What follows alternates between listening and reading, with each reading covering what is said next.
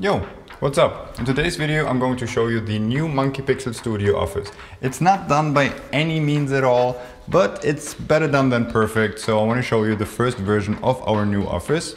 So, my name is Damien Cooper and welcome to Monkeypixels Cribs.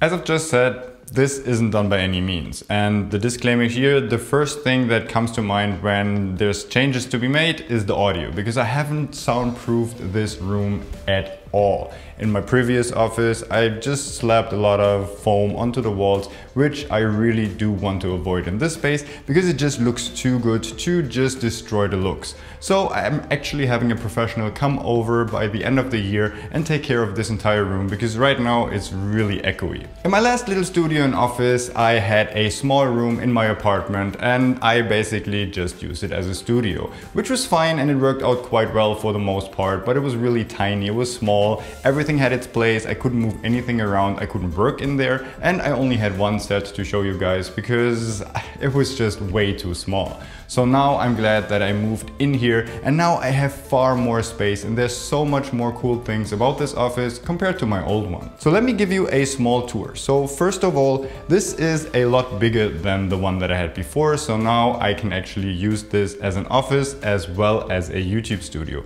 And I'm not the only one working here because I have a full full-time employee now who is behind the camera, shout out to Franco, and he can work here as well. And if you turn around and show this side of the studio, so this is the door from outside, so you come in here, but this is also where I live. So if you enter this door, this goes to my private apartment. So this way I'm really close to work, but it's also two separate apartments because this one has its own door and my apartment has its own door as well. So even if I'm not here, Franco can still work here. If I have clients over, they don't have to go through my living room and they can just come in here and it's basically a separate small studio apartment.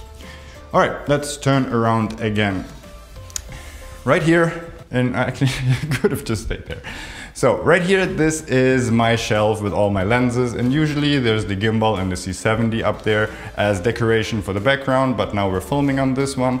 And this one is pretty cool because it's really space efficient. And in here we have a lot of stuff like monitors, batteries, small stuff to be rigged out sliders and there's a lot of organized cable boxes, cables, GoPros, audio, rigging, filters, that kind of stuff.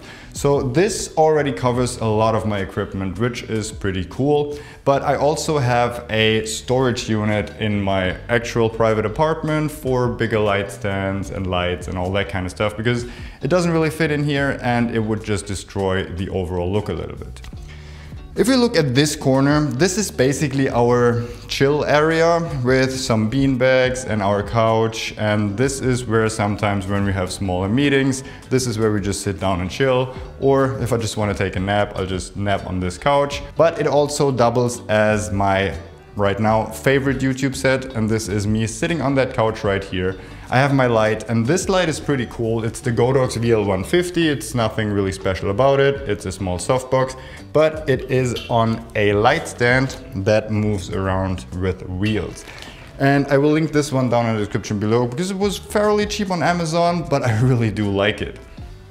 So for the audio setup, when I'm recording here, I have my light stand and the light stand is attached to a small boom pole and a Zoom F6 recorder. So I'm always recording externally, although I could just record into the camera directly, but I feel like the sound is a little bit better when recording externally. And if I'm recording by myself, I don't have to check for levels because it's 32-bit float, so I have a lot more leeway.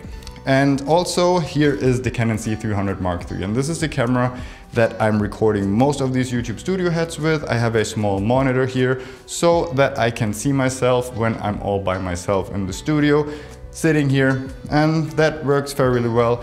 And the good thing about this is this is a filmmaker's office, so if you have these things standing around, it just looks cool as decoration as well. Like this one, for example. I hardly ever use this light. I sometimes actually do for night shots, but most of the times it's just here for a little bit of decoration purposes. Now let's move on to the rest of the small office. So this is where I sit. This is my desk. It's a stand-up IKEA desk and well, it's all right. The good thing about it, it's fairly big. It fits perfectly into this corner and I'm working on my 27 inch iMac, my 43 inch LG monitor because I just like to have a lot of space for my timelines and that kind of stuff. And I have RAID systems sitting behind this. So this is where I work. I have a little shelf right here where there's a couple things in there, like just basically needs cables for my iPhone, some hard drives, you know, just essential stuff that I need and some boring office stuff. Moving further into the office, this is basically my favorite desk of the office. This is from a company called Autonomous AI. And this is a pretty cool stand-up desk. This is much higher quality than my IKEA desk. So the IKEA desk wobbles when it's standing up. Uh, this one doesn't. This one is really sturdy. It looks good, it's way quieter, and I can really recommend this. Right now, this has a couple of functions. Number one is when I'm getting sent something, so I can do my unboxing over here. I can just test out new rigs. Like whenever I'm working on something that isn't computer related, I basically just raise this desk and I do it right here. The last couple of weeks, Belle has used this desk because she came over to edit here most of the times and we kicked her out just for the purpose of this video today. um, and there's also a third reasoning for this desk and that is to double as another YouTube studio set. And the cool thing about it is I can film in both directions. I can sit here and then I have my lenses and all that office in the background. But if I sit on the other side, I also have that little corner which looks cool. So that's two more YouTube sets for me. Plus, I can also do a little bit of stand-up stuff. So for example, my C70 rig video I filmed here. So I can actually show you the camera while working and doing some stuff on the table. Moving further into the office, well, that sounds like it's a really big place, which it's not, but this is where Franco currently works. And this is the cheapest desk you could find. It's basically just two IKEA shelves with an IKEA board on top. And I will replace this with one of these later this year. But for now, this has to work because again, we've been so busy with filming, being on production, going on production, no time. He's currently working on the M1 MacBook Pro. I just got him that one recently because we need it for another job next week.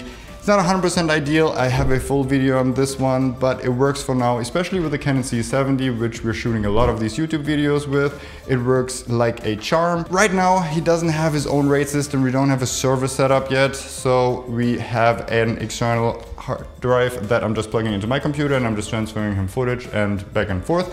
That works fairly well for now, but again, we will be doing a whole new setup for this when the time comes. He's working on a 27 inch LG monitor. I really do like this one. Great colors, great resolution. And basically that's pretty much it from the office. In there there's a bathroom, so that comes in pretty clutch because again it's separated to my private apartment. So that was something that I was really looking forward to, that I don't have to share a bathroom with clients or employees or whatever comes my way.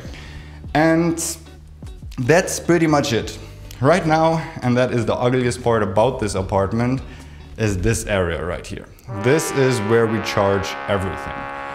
And since we do have a lot of different cameras, lights, and all that kind of stuff, it's just a mess. So right now we just have a couple of power outlets and we plug everything in there. I need to find a better solution for this. I have something in mind and maybe I'll even do a video about this because if that works out the way I want it to, that's going to be pretty damn cool.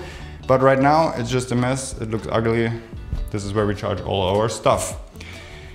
About the lighting in here, there's nothing special right now. Some of these lights are smart already, but I will replace all of the lights in here with smart lights that are also colored so I can just easily use them for filming in here and change the mood of everything. But for now, I haven't had the time because we're leaving in two days. Initially, I wanted to do the whole thing when it's finished, but again, like this will take a while because we're abroad for a long time for a big production. So I thought to show you the current state of the office and then basically progress with you guys. And that's pretty much it. If you have any questions about this office space, then just leave some comments down below.